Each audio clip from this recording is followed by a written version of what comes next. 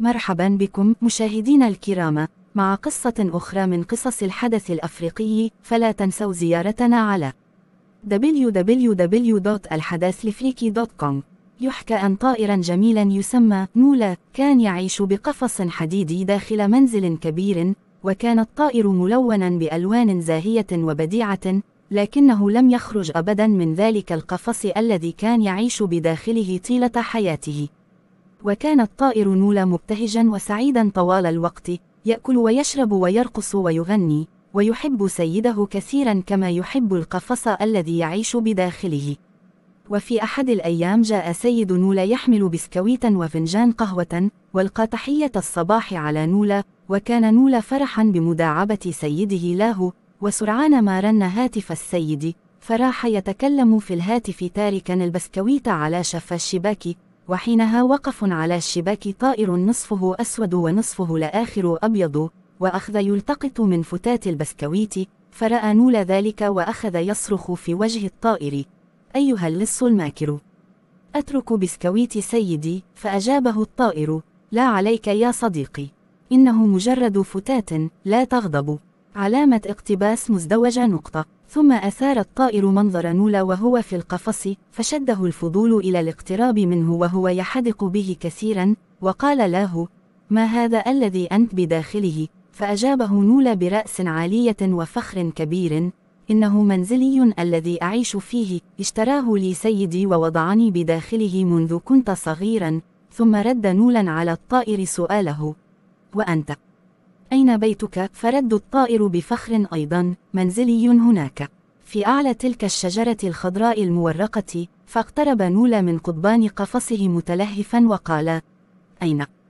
أين؟ لا أرى شيئا فأجابه الطائر يا صديقي من الطبيعي ألا ترى شيئا لأن القفص يحجب عنك الرؤية البعيدة وهنا رد النولا على الطائر باستغراب أتقول أن قفصي يحبسني كيف يحبسني وأنا سعيد بداخله وإنعم بأشهى الطعام وارتوي بأعذب ماء يقدمه لي سيدي كل صباح أنت لا تفهم معنى الراحة والسعادة التي أعيشها هنا يا صديقي. امتعض الطائر من كلام نولا وقال بهدوء بل أنت يا صديقي من لا يستطيع أن يفهم معنى الحرية.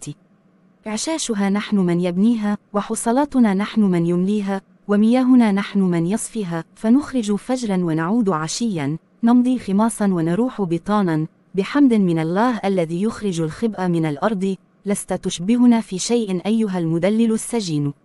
لم يعلق نولا ببنت شفة على كلام الطائر بل تركه يستطرد في كلامه وهو يمشي ويعود الخطى على جانب الشباك قائلا إن عالمي واسع وفسيح أما أنت يا صديقي فعالمك هو قفصك. ومهما كان لديك من النعم فإنك شقي لا محالة.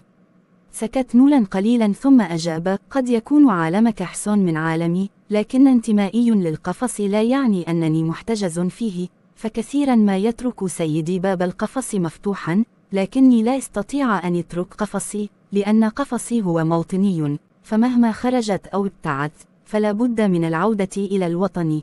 هنا فتحت عيناي في هذا القفص. وهنا عشت سنين طويلة وهنا سأموت حتى لو نسي سيدي أن يطعمني أو يسقيني يوما فسأظل ها هنا إلى الأبد أعجب الطائر من كلام نولا ثم سأله هل تحب القفص أم تحب سيدك أم تخب حبستك هذه؟ أم أنك تحب الطعام الجاهز والجلوس والنوم المريحين؟ فأجاب نولا لا أحب شيئا ممن ذكرت يا صديقي فتعجب الطائر من كلام نولا ورد قائلا فلما البقاء إذ يا صديقي. فأجاب نولا هو الوفاء يا صديقي لا شيء غير الوفاء وفاء للمكان ووفاء للزمان ووفاء لسيدي. فجاب الطائر في استغراب عن أي وفاء تتحدث يا صديقي؟ وسيدك يغدر بك ويحبسك في القفص ويوهمك أن العالم مجرد قفص. فرد عليه نولا العالم بأسره مجرد قفص وأنا بأسري عالم كامل وسط القفص. وهنا طأطأ الطائر رأسه وقال سأذهب إلى أطفالي لأخبرهم أن الألوان عالم وأن القناعات عالم وأن المفاهيم والأفكار عالم وأن الحيوات عالم وأن لكل منا عالمه الخاص وأن العالم بألوانه الزاهية محبوس في قفص وأن القفص متسع لكل العالم. علامة اقتباس مزدوجة. إلى هنا أعزائي المشاهدين تنتهي قصتنا. نتلقي مع قصة أخرى إن شاء الله.